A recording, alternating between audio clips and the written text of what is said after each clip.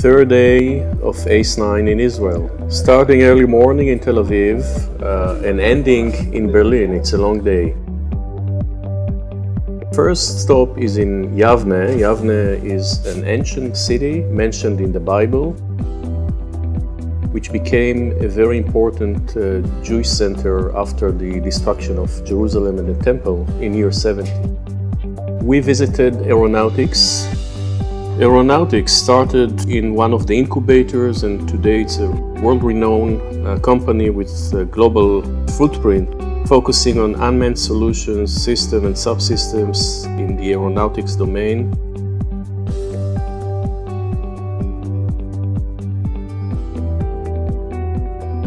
And then off we go to the Volcani Agricultural Center of Excellence. This is one of the most important research centers in Israel dedicated to different domains of agriculture, including fishery, irrigation, and many other aspects of innovation that were presented to our group, including plant protection, environmental sciences, and livestock management.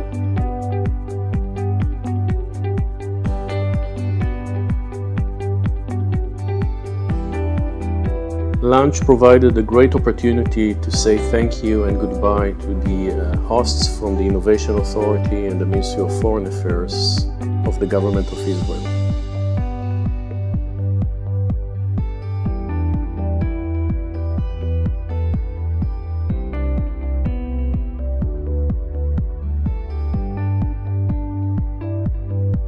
And then we drove to the airport to catch our flight to Berlin after three busy and interesting days in Israel, we are all excited to get to Berlin. Auf Wiedersehen Tel Aviv, Shalom Berlin. So even slightly ahead of schedule, delegates arrived at Schönefeld Airport in the east of Berlin, where they were received by the welcome team ACE9 Germany.